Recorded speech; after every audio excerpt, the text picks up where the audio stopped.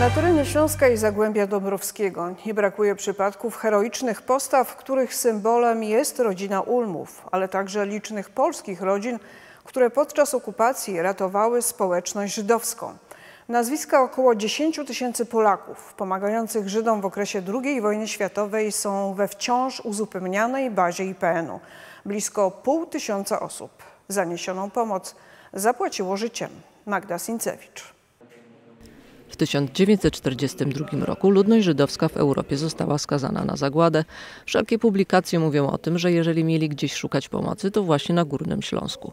Powodów jest wiele. Nasza tolerancja, zachowanie przez nich anonimowości i etos Ślązaka katolika.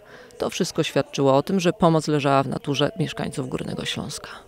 Ucząc się, czy czytając na, o historii Żydów w Polsce, e, postrzegamy tę historię z perspektywy Warszawy, natomiast e, jakby bardzo rzadko odwołujemy się do terenów, na których e, żyjemy. A to była dosyć liczna społeczność na terenie Zagłębia Dąbrowskiego, bo prawie 90 tysięcy e, Żydów. których ratowali mieszkańcy naszego regionu.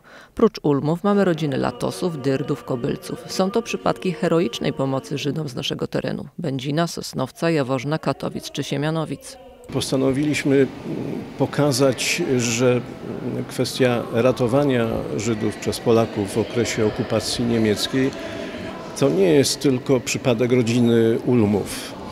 Takich rodzin, e, takich historii, nierzadko e, równie tragicznych, mamy wiele na swoim terenie. A to z tej racji, że samo Zagłębie Dąbrowskie było terenem jednego z większych y, skupisk y, ludności żydowskiej w okresie y, przed II wojną światową. I o tym właśnie mówili uczestnicy konferencji, która odbyła się w Urzędzie Wojewódzkim.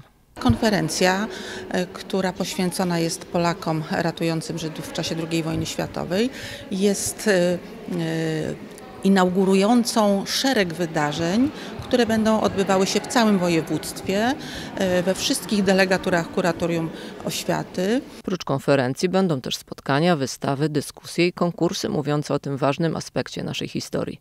Historii, którą należy przekazywać przyszłym pokoleniom, by ze zrozumieniem i szacunkiem podchodzili do przeszłości. Uczniowie znajdują kawałek, fragment nagrobka żydowskiego i mówią, Panie Grzegorzu Macewa, prawda, znają symbolikę. To mnie bardzo cieszy. Ja myślę, że to jest ta e, tolerancja, ale ta tolerancja też wynika z domu.